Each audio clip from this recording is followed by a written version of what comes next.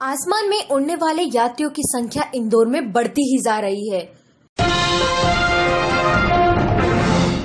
इंदौर के यात्रियों को अब हवाई जहाज़ से यात्रा करना पसंद आ रहा है। यही वजह है कि इंदौर एयरपोर्ट अथॉरिटी द्वारा उपलब्ध कराए गए आंकड़ों के अनुसार इंदौर से हवाई यात्रा करने वाले यात्रियों की संख्या 30 लाख के भी पार हो गई है।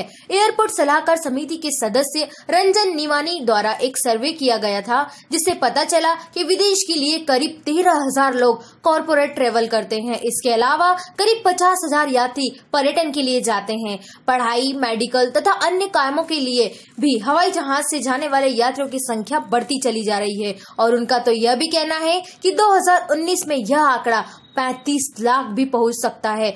चौंक आने वाली बात तो यह सामने आई है कि बैंकॉक, दुबई और सिंगापुर तथा यूरोप जाने वाले यात्रियों की संख्या लगातार बढ़ती ही जा रही है। डेस्टिनेशन वेडिंग भी एक बड़ा कारण बताया जा रहा है, जिसमें हवाई जहाज़ के माध्यम से किसी एक बड़े स्थान पर पहुंचकर शादी का कार्यक्रम आयोजित किया जाता है। हवाई यात्रियों का यह आंकड़ा साबित करता है कि आसमान में उड़ने वालों की संख्या इंदौर में लगातार बढ़ती ही जा रही है। Subscribe our channel and press the bell icon for more updates.